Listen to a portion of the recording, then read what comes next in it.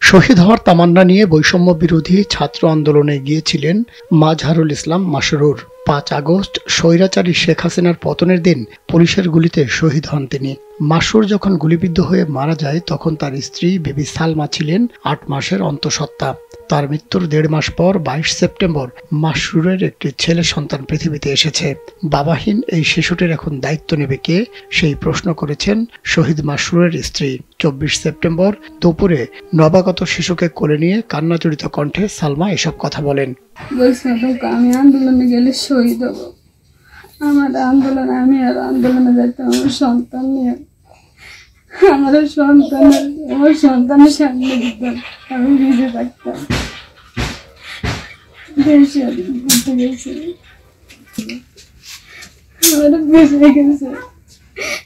আমি এই আন্দোলনের সঙ্গে হতাম যাইতাম। হাজিরাত মিছিলে আমি যাইতাম ভেবেছিলাম আমার সন্তান নিয়ে।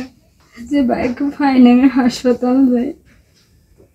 সে সারা হাসপাতাল গিয়ে দেখছে এলো ভিশন মুশকিল আসান অফার যে কোনো ব্র্যান্ডের পুরনো ফ্রিজ নিয়ে চলে আসুন ভিশন শোরুমে আর নিয়ে যান নতুন ভিশন ফ্রিজ বিশ পার্সেন্ট পর্যন্ত ছাড়। শহীদ মাসরুরের এক ছেলে ও এক মেয়েকে নিয়ে এখন কোথায় থাকবেন কি খাবেন তা নিয়ে মহা দুশ্চিন্তায় পড়েছেন তার স্ত্রী।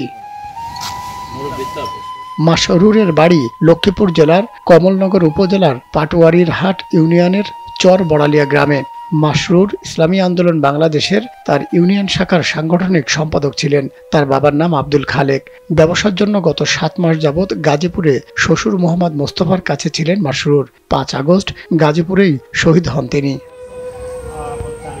মাসরুরের ছোট ভাই হুমায়ুন কবির জানান, অনেক কষ্ট করে মাসরুর লেখাপড়া করেছে। পাশাপাশি তিনি একটি মাদ্রাসাও প্রতিষ্ঠা করেন। বলছে, তুমি একটু সাবধানে থাকিও। তখন বলল যে, যদি আমি সাবধানে থাকি, তাহলে এই দেশকে স্বাধীন করবে কে? আমার এই দেশ, আমার রক্তের বিনয়ে আমরা স্বাধীন করব। একটা ছেলে, একটা মেয়ে, ছেলেটার বয়স মাত্র তিন দিন হচ্ছে, আর মেয়ের বয়স সাড়ে তিন বছর। এখন এই পরিবারের শহীদ ফ্যামিলির হালকে ধরবে? ধরার মতো কেউই নেই। আমি একটা মাদ্রাসায় চাকরি করি আমার বেতন মাত্র দশ হাজার। ভাইয়ার মাদ্রাসা আমি পরিচালনার দায়িত্বে আছি বেতন দশ হাজার। এই দশ হাজার দিয়ে কি আমি এই সংসার চালাবো নাকি আমার বাপ মাকে আমি খাওয়াবো? এখন আমাদের ফ্যামিলি একেবারে অন্ধকারের ভিতরে আছে। মাসরুরের চাচা শ্বশুর ওমর ফারুক জানান আর্থিকভাবে স্বাবলম্বী ছিল না মাসরুর। সরকারিভাবে সহযোগিতা না পেলে তার স্ত্রী সন্তান কষ্টে থাকবে।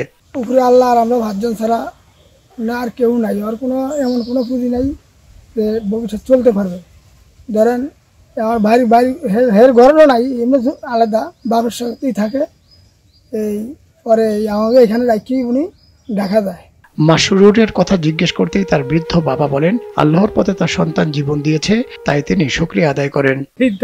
গিয়া মর মৌত করছে বাড়ি থাকলে তো মৌতটা হইতই মৌত করে আসি না তবে না দিনের কাজে যাইয়া আর ইয়া করছে যে আমি আদার শুকুর করতে আসি।